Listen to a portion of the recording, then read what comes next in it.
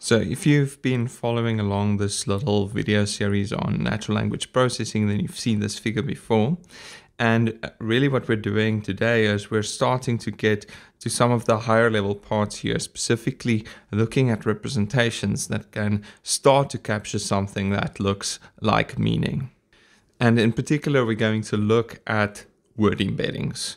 These are vector representations of word classes, and it was something that really revolutionized natural language processing when it started being used in the early 2010s.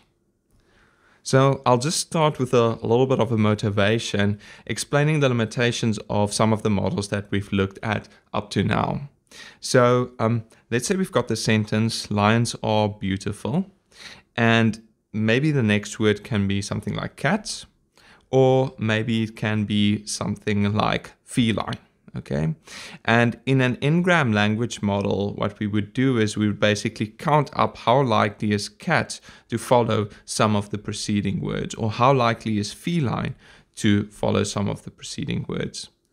Let me just make that a little bit more concrete and then also use this as an illustration um, of the limitations of some of the models that we've looked at.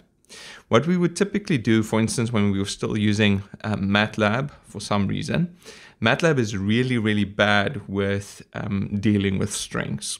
So this first step that you would normally do is you would map each word category, each word type, or each word class, you would map that to a unique integer value. Um, and then in MATLAB, you would basically just store a list of, oh, word zero is this word, word one is this word. Um, and then you could just deal with these integers, which MATLAB is good at, um, instead of um, dealing with the, with the strings directly.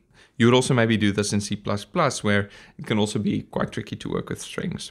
So for instance, you would have that the very first word in your um, in your vocabulary, that might be the start of sentence symbol.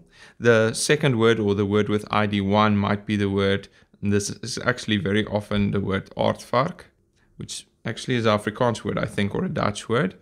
Um, then maybe the second word or word with ID2 is R, and then the third word is at, and so on. Okay, maybe word 8 is cats, maybe word 11 is feline, and maybe we've got roughly 50,000 words in our vocabulary, so we end up with the second last word zoo, and then maybe the very, very large last word in our vocabulary is the end of sentence um, symbol. Okay, and then what you would do is you would map your data basically to these integers. Okay, so line might be, I don't know, 416, R is 2, beautiful some other number, I don't know, 5, cats is 8 and feline is 11. Okay, and then what you would do for an n-gram language model, for instance, and let's do the example of a 4-gram where we predict a word based on the three um, previous words, then we would maybe count up.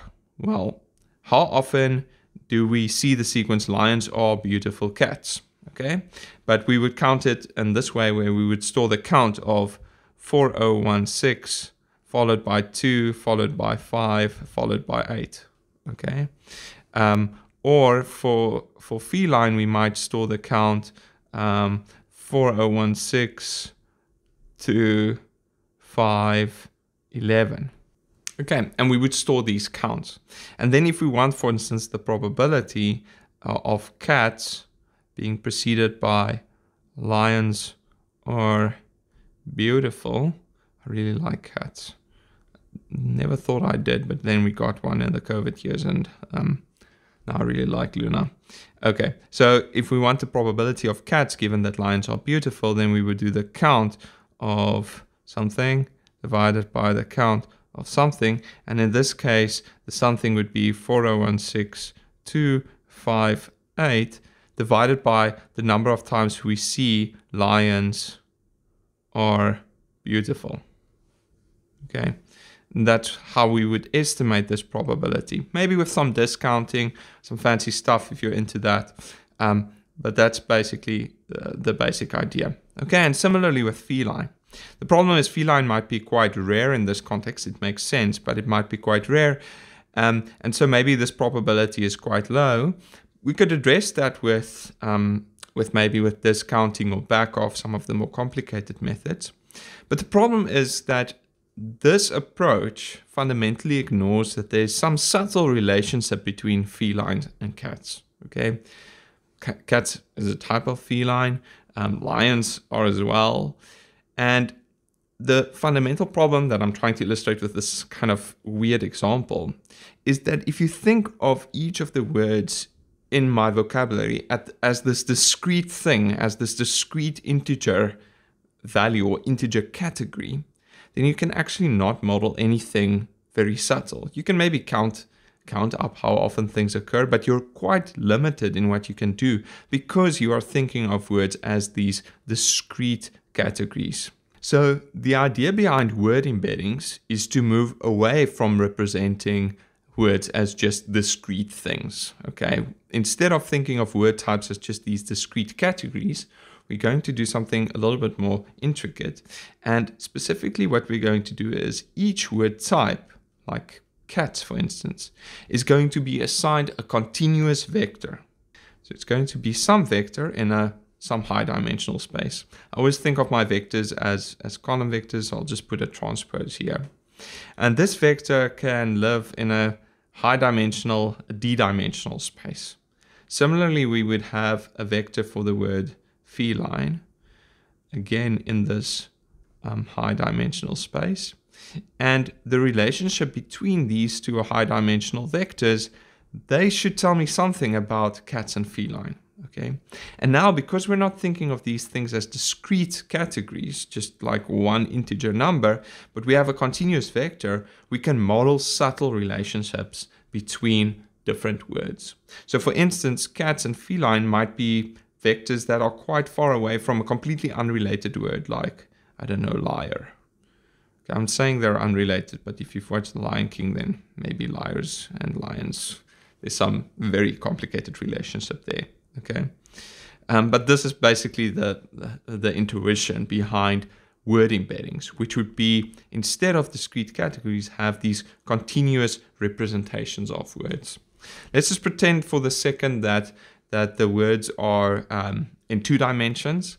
Then maybe you end up with a two-dimensional space where words like cats and feline and lions and maybe even cheetahs um, end up in one little spot in the space, while other words like liar and maybe lying or lie, joker, um, they end up in a different area in the space. And then maybe we've got some other words here that are also semantically related. And very often it actually turns out that these um, word embeddings, they actually end up encoding meaning in this way where they where words that are related in meaning end up in a similar spot in um, this embedding space. We'll actually look at ways to visualize um, word embeddings as well. I hope that gives you an intuition for, for the reason that we're looking at word embeddings as a way to model some su subtle things in um, natural language processing. I should add it's pretty cool if you have a continuous representation of a word because then you can feed these representations into a standard machine learning model, something like a support vector machine um, or something like a neural network that actually operates on continuous um, um, representations. And we'll see some examples of that.